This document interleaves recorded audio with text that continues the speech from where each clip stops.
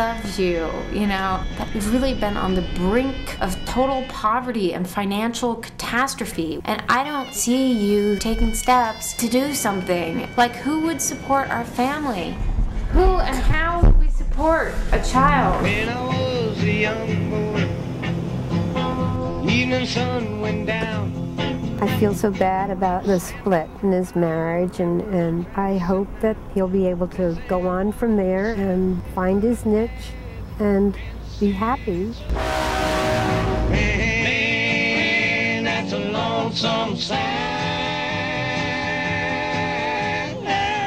Oh, look at you. Just like a real Portlander. No, look, he's got the whole hip bikester thing down. All right. He's got a clean slate. If he can leave that emotional baggage behind him. Most of us, we can't just start fresh, and he, he's got an opportunity. You don't smoke, do you? Yeah, not, uh, not as a habit. Measures I would keep. I'm like an old man next to the kids now, and they know it. I could feel them taking note of me as this old guy among them, like a curio. well, that's what I was thinking. Like an object of curiosity. Don't you listen?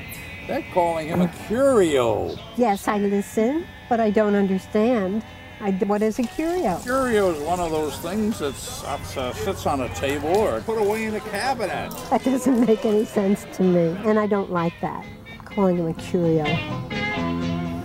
To me, that would suggest something Yeah. different, Yeah, maybe, you know. something strange. Oh, yeah. Hey, this guy kiss you. He'll kiss any one of you. Curio is maybe what happens when a, a beatnik gets a little older. You know, he still acts like a beatnik, still wants to live the hip lifestyle. But he's getting a little older now. I could probably out dance any of those little fuckers in there, you know. Woo! Look at the curio go. You know, does he contemplate how to be something that's not curious to the rest of us? I would posit that actually uh, the, the role of a curio is an essential step in the development of any spiritual seeker. Hopefully we can all join him in reaching a new level of enlightenment. I, I can relate to this curio because you know, I have felt kind of like the outcast in many parts of my life. Uh, it would be nice if I had this and this, like my lawyer brother has a beautiful house and a wife and kids, but your role in this universe is being the curio. So enliven yourself and rejoice and be the curio.